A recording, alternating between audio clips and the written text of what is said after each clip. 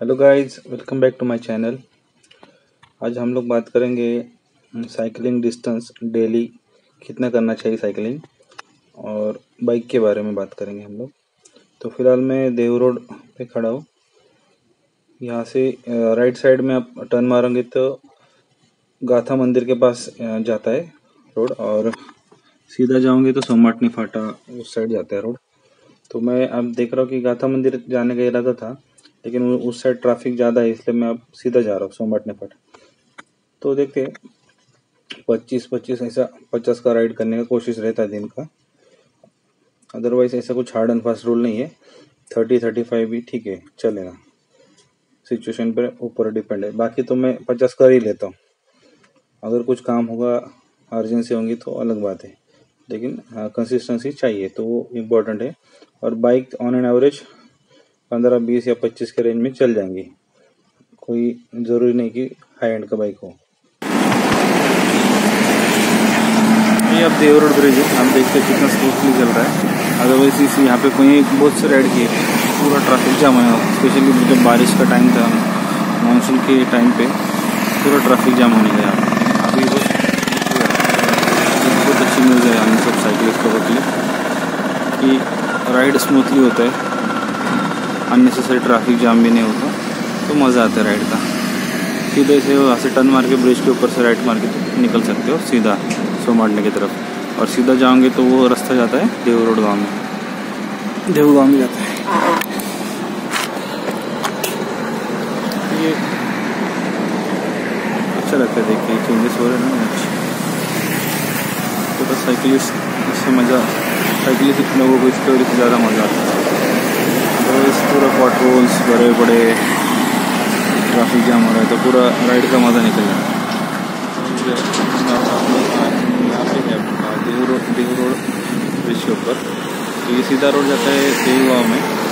और अगर हम यहाँ से लेफ़्ट मार के जा रहे हैं यहाँ से लेफ़्ट मार के अगर जाते हैं तो फिर देव गाँव में आते और राइट मारते हैं तो जाते हैं सोमटना फाटा तो ये रास्ता बहुत अभी अच्छा हुआ, इसके लिए मज़ा आता है।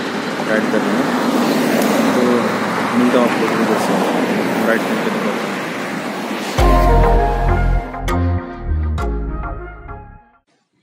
हेलो गाइज़ ये है अमर अमर देवी माता मंदिर। यहाँ पे नवरात्रि के वक्त बहुत ही भीड़, बहुत ही ज़्यादा भीड़ होती है। ये रोड के पास ही है। एकदम रोड टच है। आप देख सकते हैं, हाईवे को लग के ही यहाँ पे बहुत से लोग रुकते हैं, दर्शन लेते फिर ही आगे जाते हैं। यहाँ पे जो गाँव वाले लोग हैं, ये देवी को बहुत मानते हैं स्पेशली तो आप भी ज़रूर आइए यहाँ पे, दर्शन के लिए माता के। ओके तो अब हम आगे बढ़ते हैं।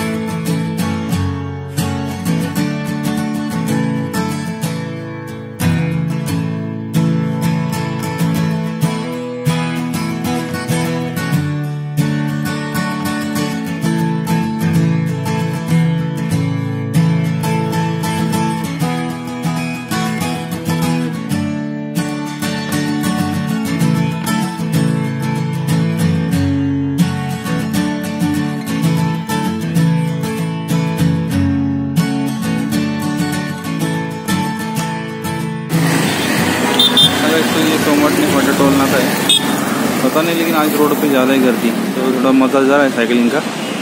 चलेगा, उसमें से भी उसमें भी थोड़ा होता है। मतलब वो, जैसे साइकिल करके आगे बढ़ना है, वो भी तुमको सीखना होगा। तो हर हर वक्त यहाँ तुम्हारे लिए रोड खाली नहीं होगा। गाड़ी अगर कभी ट्रैफ़िक होगा कभी जाम तो गिव अप नहीं करना है हमको साइकिल करते रहें। गाइज़ अब मैं यहाँ पे ही एंड कर दूँगा इस ब्लॉग को आप लोग को सपोर्ट चाहिए इसलिए आप प्लीज़ चैनल को सब्सक्राइब कीजिए। अगर वीडियो पसंद आता है तो वीडियो को लाइक कीजिए कमेंट कीजिए शेयर कीजिए।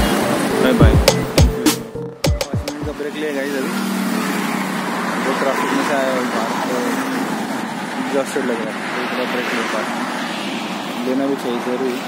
हेलमेट कर लें पूरा मेरा पसीना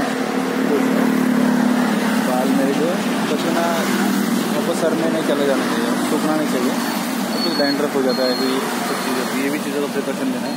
ऐसे नहीं कि राइड पर निकले तो बस राइड ही करो। इसमें थोड़ा स्टॉप लो पॉज लो पाँच दस मिनट का, फिर रिफ्रेश होती पानी अगर पीके कोई जूस मिला तो जूस पी लो, नींबू पानी या गन्ने का जूस और पूरा पूरा पसीना पोछ के रिफ्रेशिंग मोड में फिर से राइड स्टार्ट करना चाहिए। जल्दी किलोमीटर भी कट हो जाएगा। तो मेरा वो ओन एक्सपीरियंस है।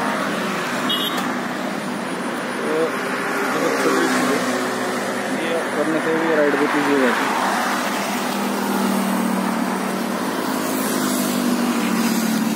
स्पेक्स भी उधर पड़े हैं। है।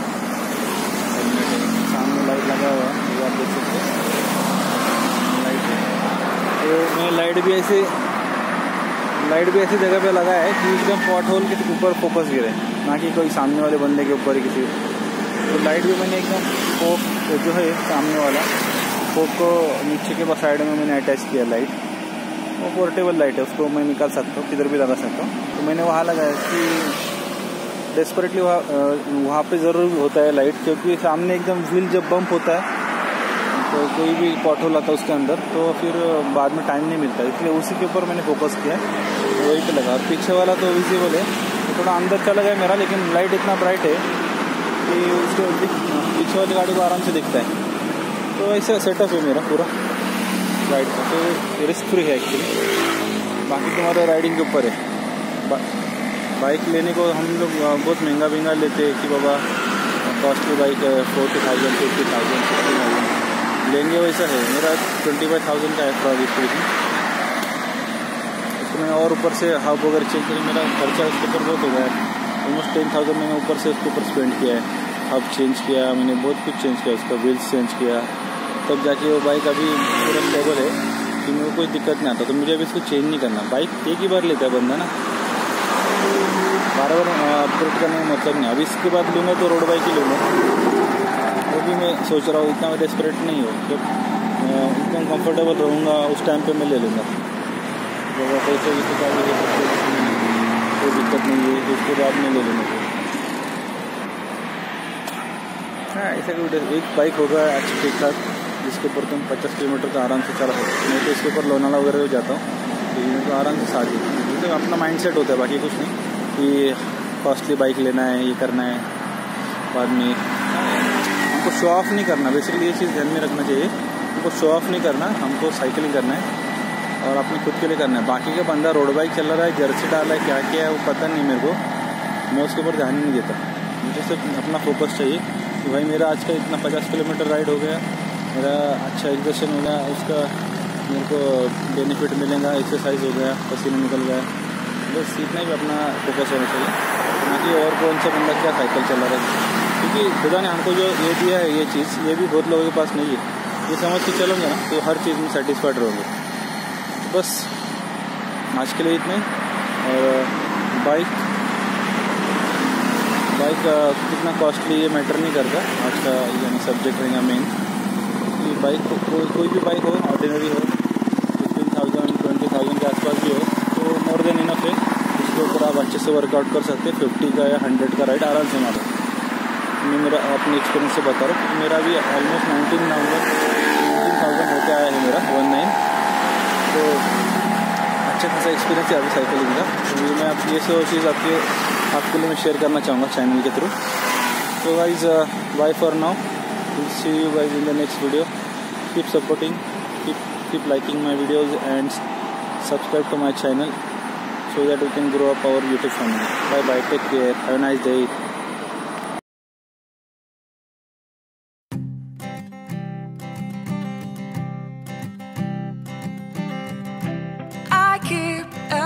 paragraph in which we want.